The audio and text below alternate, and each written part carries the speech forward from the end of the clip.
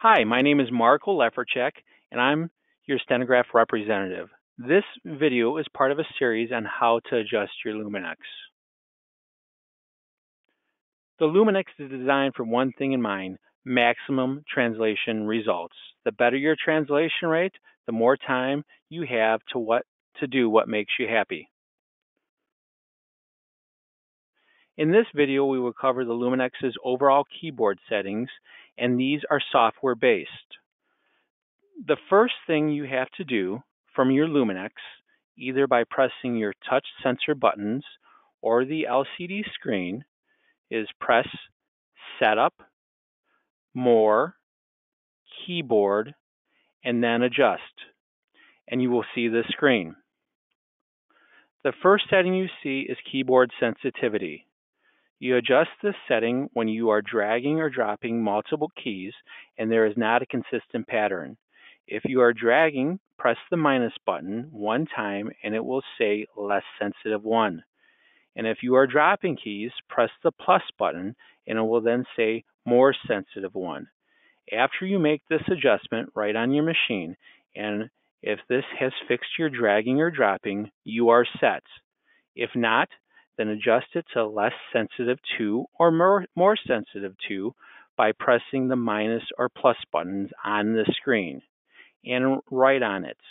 And if it's not quite right, repeat and change it to less sensitive 3 or more sensitive 3 and you will be set.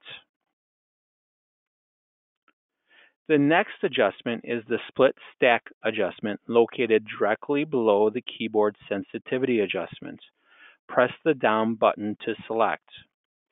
If you are experiencing some stacking, you will press the plus button one time and it will say less stacking one. If you are experiencing splitting, you will press the minus button one time and will say less splitting one. You will then write on it to see if this makes the difference. And if so, you are set. And if not, then you will change it to less stacking 2 or less splitting 2 by pressing the plus or minus button on the screen and then write on it. If you continue to experience, experience stacking or splitting, you will change it to less stacking 3 or less splitting 3, and you are set. That transition time setting is something you should contact our support team for if you are thinking about changing it. Remember, when you receive your machine, you have a year warranty with support, and after this, you have the option to continue with Endurance which includes support in covering your machine just in case something happens. If you need help with anything, make sure you take advantage of our support departments. Thank you for your time today and make sure you take a look at uh, the other two Luminex adjustment videos on keyboard tens tension and depth of stroke and individual key, key adjustments. Have a great day.